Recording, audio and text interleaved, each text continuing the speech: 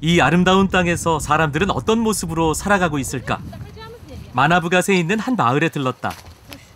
Üş.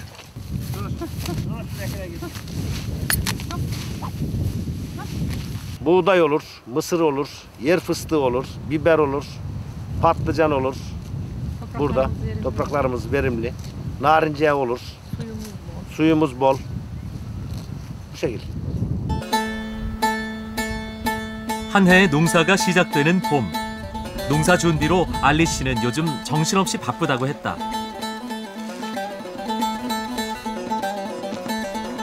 그런데 알리 씨 부부가 나를 집으로 초대했다.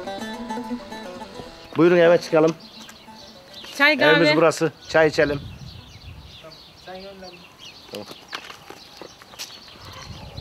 우리 농촌처럼 따뜻한 인심을 느낄 수 있었다.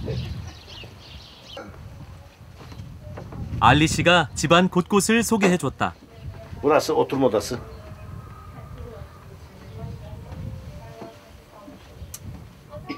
Ee, dokuz kardeşiz biz.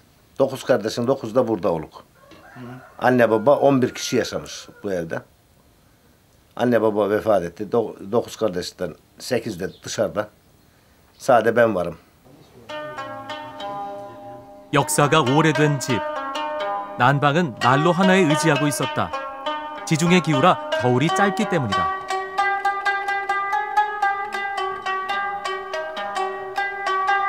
대신 벽이 두꺼워 바깥의 차가운 바람을 막아준다고 한다.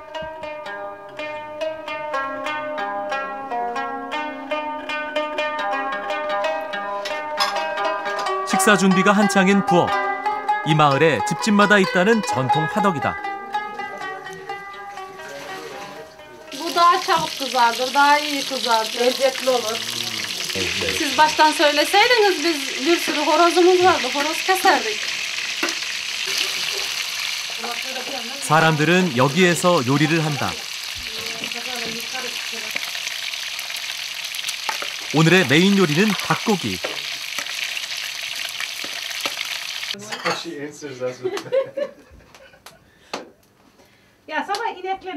이슬람교가 90% 이상인 터키에선 돼지고기 대신 닭고기를 주로 먹는다.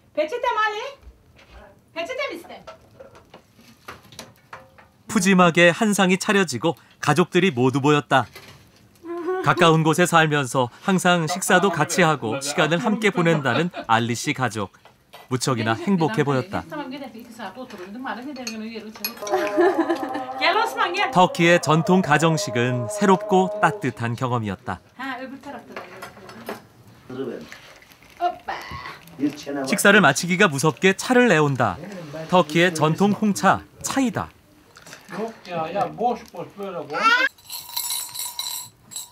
터키인들이 가장 사랑한다는 기호식품 차이. 세계 홍차 소비량 1위가 바로 터키다.